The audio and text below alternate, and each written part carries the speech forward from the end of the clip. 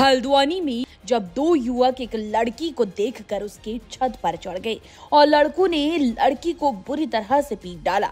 डंडे के वार से लहूलुहान बेटी को बचाने दौड़े पिता को भी बदमाशों ने पीट डाला।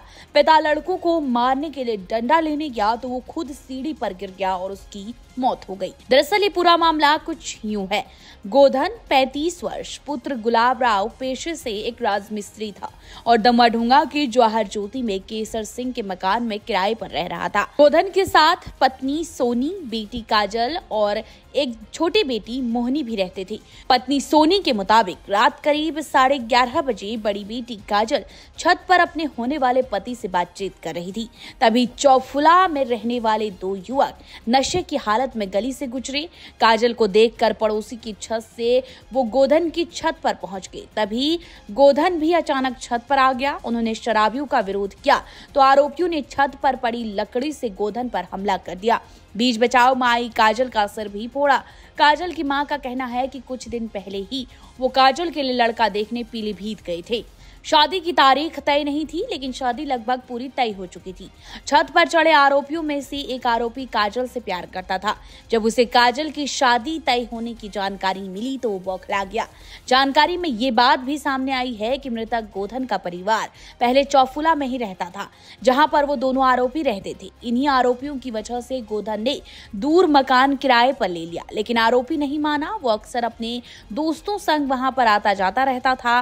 और वहीं पर शराब भी पीता था और रोज की तरह वो घटना वाली रात भी गोधन के घर के आगे आया और रात में उसकी पुत्री काजल को छत पर फ़ोन पर बातचीत करते हुए देखा तो वो छत पर चढ़ गया। फिर जब रात में काजल के पिता गोधन को छत से आवाज़ें सुनाई दी तो वो छत पर पहुँचा। छत पर देखा कि दो युवक हैं।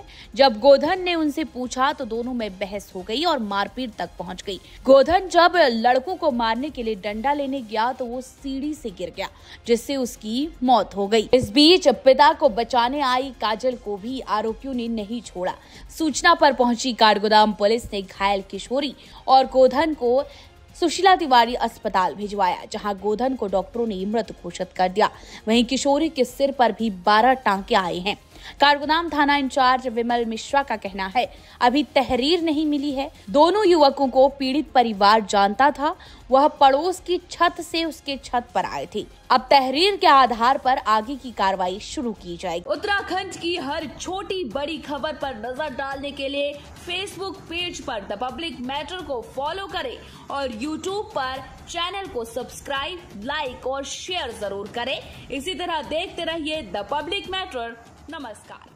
हल्द्वानी में जब दो युवक एक लड़की को देखकर उसके छत पर चढ़ गए और लड़कों ने लड़की को बुरी तरह से पीट डाला, डंडे के वार से लहूलुहान बेटी को बचाने दौड़े पिता को भी बदमाशों ने पीट डाला। पिता लड़कों को मारने के लिए डंडा लेने गया तो वो खुद सीढ़ी पर गिर गया और उसकी मौत हो गई। दरअसल ये पूरा मामला कुछ यूँ है।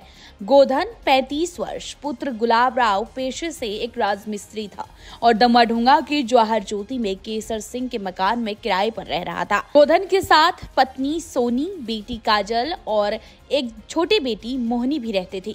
पत्नी सोनी के मुताबिक रात करीब साढ़े ग्यारह बजे बड़ी बेटी काजल छत पर अपने होने वाले पति से बातचीत कर रही थी। तभी चौफुला में रहने वाले दो युवक नशे की हालत में गली से गुजरे, काजल को देखकर पड़ोसी की छत से वो गोधन की छत पर पहुँच गए तभी गोधन भी अचानक छत पर आ गया। उन्होंने शराबियों का विरोध किया तो आरोपियों ने छत पर पड़ी लकड़ी से गोधन पर हमला कर दिया। बीच बचाव में आई काजल का सर भी फोड़ा। काजल की माँ का कहना है कि कुछ दिन पहले ही वो काजल के लिए लड़का देखने पीलीभीत गए थे। शादी की तारीख तय नहीं थी, लेकिन शादी लगभग पूरी तय हो चुकी थी। छत पर चढ़े आरोपियों में से एक आरोपी काजल से प्यार करता था। जब उसे काजल की शादी तय होने की जानकारी मिली तो वो बौखला गया। जानकारी में ये बात भी सामने आई है कि मृतक गोधन का परिवार पहले चौफुला में ही रहता था, जहाँ पर वो दोनों आरोपी रहते थे। इन्हीं आरोपियों की वजह से गोधन ने दूर मकान किराए पर ले लिया, लेकिन आरोपी नहीं माना। वो अक्सर अपने दोस्तों संग वहाँ पर आता जाता रहता था। और वहीं पर शराब भी पीता था और रोज की तरह वो घटना वाली रात भी गोधन के घर के आगे आया और रात में उसकी पुत्री काजल को छत पर फ़ोन पर बातचीत करते हुए देखा तो वो छत पर चढ़ गया। फिर जब रात में काजल के पिता गोधन को छत से आवाज़ें सुनाई दी तो वो छत पर पहुँचा। छत पर देखा कि दो युवक हैं। जब गोधन ने उनसे पूछा तो दोनों में बहस हो गई और मारपीट तक पहुँच गई। गोधन जब लड़कों को मारने के लिए डंडा लेने गया तो वो सीढ़ी से गिर गया, जिससे उसकी मौत हो गई। इस बीच पिता को बचाने आई काजल को भी आरोपियों ने नहीं छोड़ा। सूचना पर पहुँची काठगोदाम पुलिस ने घायल किशोरी और गोधन को सुशीला तिवारी अस्पताल भिजवाया, जहाँ गोधन को डॉक्टरों ने मृत घोषित कर दिया। वहीं किशोरी के सिर पर भी बारह टांके आए हैं। कारगोदाम थाना इंचार्ज विमल मिश्रा का कहना है, अभी तहरीर नहीं मिली है। दोनों युवकों को पीड़ित परिवार जानता था, वह पड़ोस की छत से उसके छत पर आए थे। अब तहरीर के आधार पर आगे की कार्रवाई शुरू की जाएगी। उत्तराखंड की हर छोटी बड़ी खबर पर नज़र डालने के लिए फेसबुक पेज पर द पब्लिक मैटर को फॉलो करें और यूट्यूब पर चैनल को सब्सक्राइब लाइक और शेयर ज़रूर करें। इसी तरह देखते रहिए द पब्लिक मैटर नमस्कार।